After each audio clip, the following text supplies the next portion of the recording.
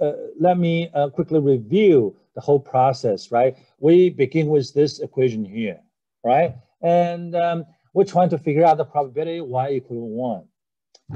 And then uh, y equal to one is equivalent of y star greater than zero. Then because of assumption uh, the structural model that y star is equal to x beta plus uh, epsilon, we replace y star with that equation. Then going through all the derivation, we get this term. Voila, and this is uh, an equation, or we call function, probability function that we really want because it establishes the relationship between what? Y, right? Y equal to one here, and x beta. You see that? By a probability function. And this is a generic cumulative density function. So it is a probability function. And um, to be very precise, this is a cumulative density uh, function, not exactly probability function, but somehow we have linked uh, y, observed y, with x beta through y star. See that? And that's the reason why we want to introduce the idea of y star. Okay, and uh, what's next? Well, next is to apply maximum likelihood estimation. And here, uh, I'm going to quickly uh, talk about how to apply maximum likelihood estimation to uh, this equation here, right? So we just derived this equation, right, in our last slide. and uh, we've linked y with y star and then x beta through a probability function. So we established relationship between y, the observed y, and x beta through y star, okay? uh, using a probability function. Then roughly, we want to know what is the probability of observing the data. So here I use uh, beta tilde, uh, excuse me, uh, p tilde, uh, to denote something uh, is, pretty uh, similar to probability, but not exactly. But at this point, okay, let's say we want to know the probability of observing the data. Well, what is the probability of observing data?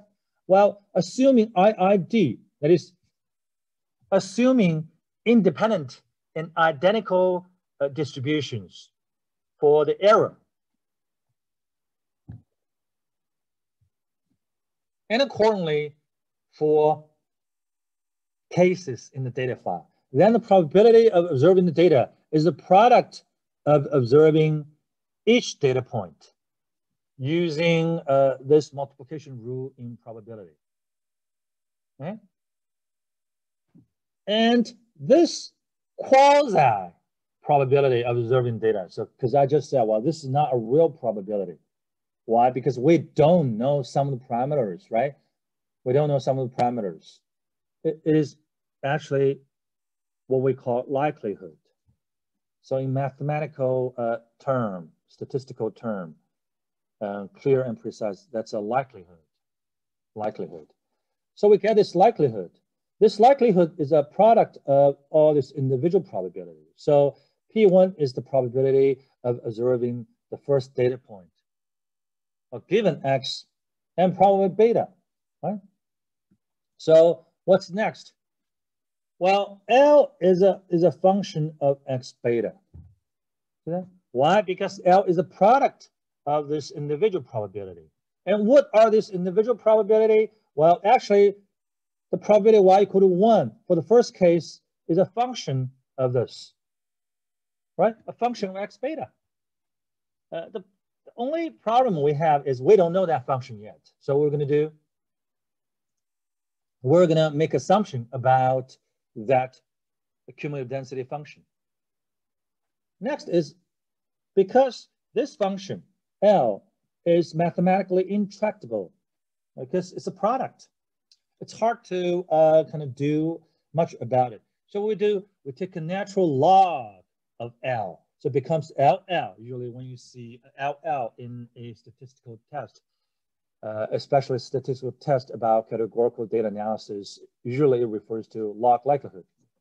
Well, if we take a natural log of L, then the function becomes more tractable.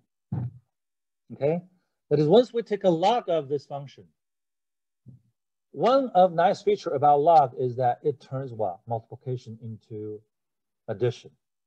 Okay, so it becomes a summation of something.